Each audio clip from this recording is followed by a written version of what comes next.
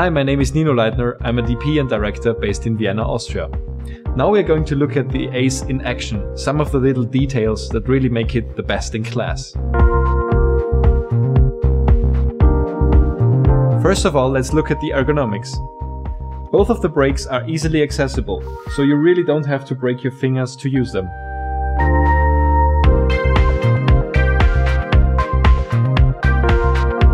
The same is true for the position of the drag controls or the balancing knob. The Ace head is very versatile, so for example, you can tilt 75 degrees up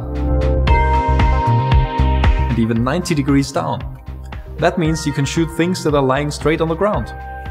Let me show you some examples of how to use the drag control system.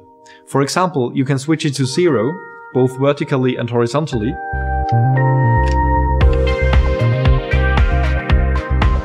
Filming like this is now a very popular style of doing pseudo handheld shots.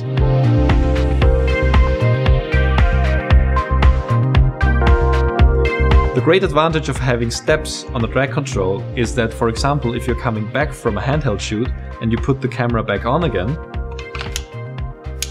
just looking at the steps that are already set, you already know how it will perform. You can also choose the level of drag resistance depending on the speed of the pan or tilt that you are going to perform.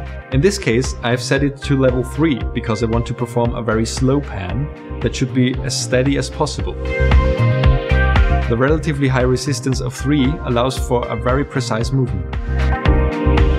The advantage of the two brakes is that they are operating completely jerk free. So after you do a movement and pull the brakes, it just stays in place as it's supposed to.